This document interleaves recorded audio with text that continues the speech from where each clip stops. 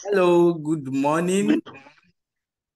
Good morning. Good morning. Um, as you know my name, I'm Tunji Sanyaolu. I'm a learner at uh, ALX. I, I put in for data science, which is going to take me till next year, July. But we are in our foundation program. The first three months is our foundation program where we are going to up our soft skills and you know, and also our being able to learn on how to impact and also be um, a person of impact to the general African to the whole world at large. So part of my assignment is to look for somebody who is making impact in one way or the other in his or our community.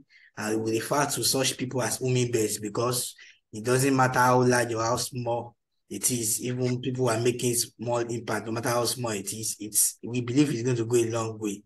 And I I know that you have been somebody who is in the mental health space.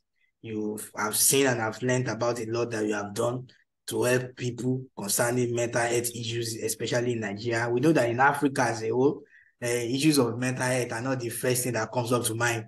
The first thing is how to survive, how to eat, how to Yeah. uh, and all that. But when it comes mental health, but we, but actually when we look at it, you know, even what you have been doing is, is something that have been giving us a kind of awareness that actually these things also matter.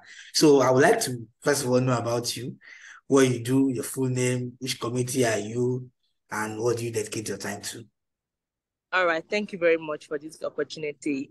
My name is Fuluwa Olajolo.